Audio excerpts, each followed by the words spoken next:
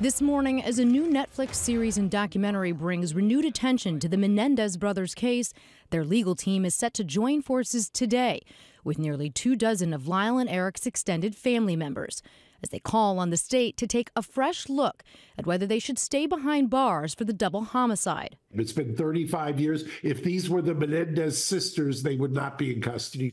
Despite the public pressure campaign, including some famous names now weighing in, the Los Angeles District Attorney's Office says no decision has been made yet about whether it supports resentencing for the brothers, who were convicted in 1996 of killing their parents. Saying in a statement to NBC News, once a decision has been reached, the family members of the victims and the public will be notified. At the heart of the matter, allegations of abuse by their father, something the brothers raised at their first trial, which deadlocked. I told us to tell Dad to leave me alone. and he keeps touching me. But was largely excluded from their second trial, where they were convicted and sentenced to life in prison.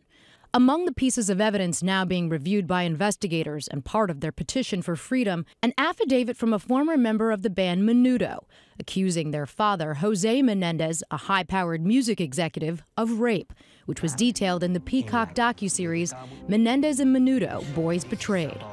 Jose Menéndez me dijo, toma este vino, es un vino carísimo, y tómate toda la taza.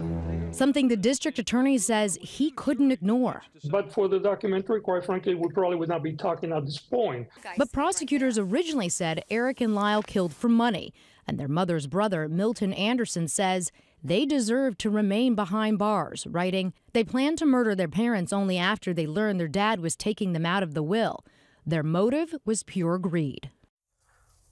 Well, it's obviously getting a lot of attention Yes. right now, but these are very high hurdles for a legal case. So, is there any chance they could get released? I think the big question is what does the DA do? Because as we mentioned, he is facing a tough uphill battle in his own reelection. He's down in the polls, and it's unclear how the public is going to view this and how this is going to play. He's getting pressure from the likes of Kim Kardashian and Rosie O'Donnell. At the same time, online detectives are also supporting their bid for freedom.